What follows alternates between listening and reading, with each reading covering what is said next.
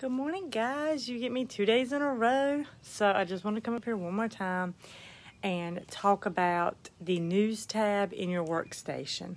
So we have Harry Potter collection coming out for pre-order in July. So from July 7th to July 14th, you need, or from now until the 14th, you need to start advertising the warmer, the waxes, all the things um, that's in the news tab. You can get those images from the news tab. You can also search Harry Potter in the marketing and get images to share on your VIP group or you can share it on your Facebook page. I like to share everything in my VIP group and then I put it on my stories in my in my fa- on my Facebook and in my stories on my Instagram. Um so check your news tab daily cuz you never know when they're going to add something new, when, you know, something's going to come out. So, advertise your Harry Potter collection. That is going to be for pre-order from the 7th through the 14th. So, for the Harry Potter warmer, I think they pay $10 now, I think it is. I'm not 100% sure. I feel like it's $10 right now. The warmer itself is $75. So they pay $10 now to secure them their warmer.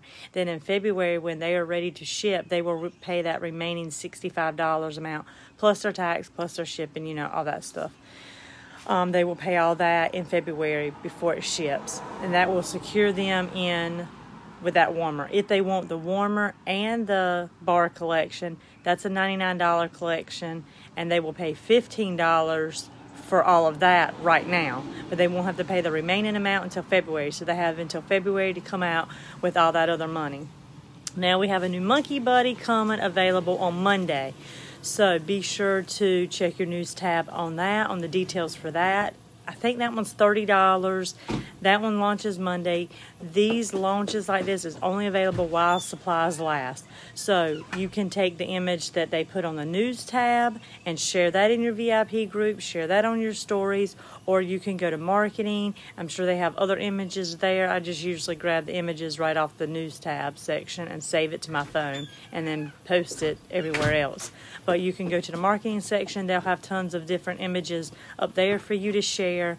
Um, just check your news tab daily for any new upcoming changes, any new updated product list, anything like that. And if you guys have any questions about anything, just let me know. I hope you have a great Friday and a good weekend. See you guys later. Bye.